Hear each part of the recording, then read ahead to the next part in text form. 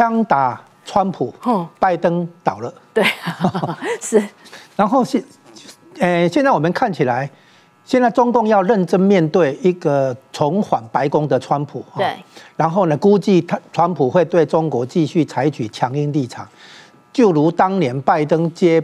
川普之后，嗯，对中国是继续采取强硬立场。对，那并不是两个人有策略上的不同，而是不同阶段有不同做法，这个很合理。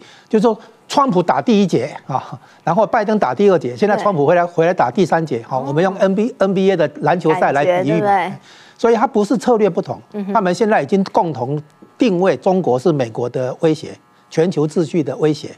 所以呢，美，诶，不管是民主党还是共和党。啊，来执政的话，对中国的强硬立场一样，所以不不是因为川普要赢了，所以 A 股才完了。嗯，就算不是川普赢了，A 股还是完了啊。哦，这样 这样再再来一个，你看现在很多国际上的那个政要哈，赶快去跟川普这个会面，对，哦，探讨一下他打打打算接下来做什么，表示。各个国家都有心配合川普的重返白宫。嗯哼，那有些人说，川普的强硬立场可能会让某些人调整亲美态度，变成中间势力啊，然后中间势力就让习近平有机会来拉拢争取。这个有一点一厢情愿。嗯哼，哎，因为你现在看得出来嘛，各国对不对？从波兰到沙地到日本，各国都在跟川普见面，了解情况，对不对？是他们在做的是。准备迎接川普重新回来嘛？哎，江老师，那个逻辑是我们去回想上一次川普在当美国总统的时候，因为他不只打中国，他对很多的盟国，以前大家觉得美国的朋友，他也是一视同仁。你看他对欧盟也是打关税战啊，呃，就是一个大美国的立场。所以呢，会不会把这些呃以前的朋友，但是呢，哎，你现在怎么也打我？会把他们推到跟中国比较一致的一个这个阵线上去？你觉得有这样的可能吗？你讲到这个就是表面。有这个现象，但是其实不是嘛？为什么？他打欧洲跟加拿大这些，好甚至于墨西哥这些盟邦，对不对？对。关关税是打什么？钢铁。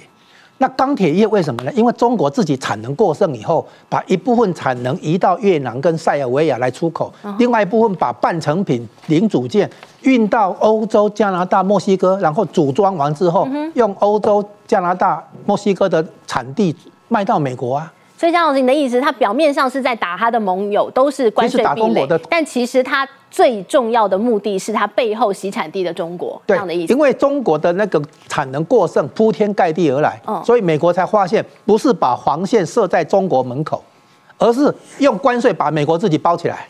因为来自四面八方的，其实源头都是都有可能是中国。对，所以你会看到美国在打，好像盟友，对不对？是。那其实 其实是应对中中国的。过剩产能，瞒天这个这个而来的哈，然后现在所以很多人认认为那个其实他们真正在做的动作开始迎接配合，准备配合他回来嘛，是，所以哪来一个什么亲美态度变诶动摇，转成中间势力，让习近平可以去争取，更何况习近平现在也没有多少钱可以大傻逼去拉拢争取啊，啊，是，好，现在我们看。讲回三中全会要处理的经济议题，有以下这些情况要面对。嗯，啊，这个媒体上都已经关注过了。嗯，首先就是那个支撑经济高速成长的那个所谓后发优势跟人口红利消退。哈，对。再来，房地产市场的供需起重大变化。好，就简单讲房地产危机。嗯。再来的话，从家庭到企业到地方政府的主体性、积极性都在消退。嗯哼。活力不足，意思就是说大家。存钱不敢花钱，对，这个就是典型的叫什么？叫做资产负债表衰退。嗯就是说，因为我的债务没有变，但是我的资产跌下来，我的就业所得等等跌下来，嗯所以呢，变成说我要更加卖力才能够去还债。哦，所以现在所有的人哈，家庭在存钱还债，企业在存钱还债，大家都来应应对债务的问题。所以他们的消费力是整体在往下。对，储蓄偏高，然后消费下降。哈，好，然后呢，再来那个。财政跟货币的这些宏观调控没做好，嗯，所以呢，你会你会发现。这个银行体系把过多的信用拿去搞，比如电动车、新三样、电动车、太阳能板、锂电池这些，这些所谓新三样的产产能过剩，背后是信银行信用扩张来的。那所以我才说他们的宏观调控出问题，没有做选择性信用管制。你要引导信用流到哪个方向？现在的话，大家说哦，电动车可以做，哇，一窝蜂搞，一窝蜂搞，对，所以产能过剩嘛。好，然后接下来当然是国内需求不足，不足以消化这些产能。再来的话，核心技术被卡脖子，哈。所以你会发现他们都知道这些问题，都面对这些问题。嗯，那所以从全局来看，习近平如果真的有什么经济对策可以解决问题的话，早就推出来了。所以江老师觉得这次三中全会可能也没有办法有的意思是说重要的经济问题太复杂也太严重，是已经没有办法找出有效的对策，千头万绪。对，所以习近平把经济问题政治化。现在他的所谓三中全会，所谓深化改革，是深化习近平版本的改革。习近平要的改革，习近平要的改革是什么？抓紧政治权力，维稳，保党，保政权。现在的改革是。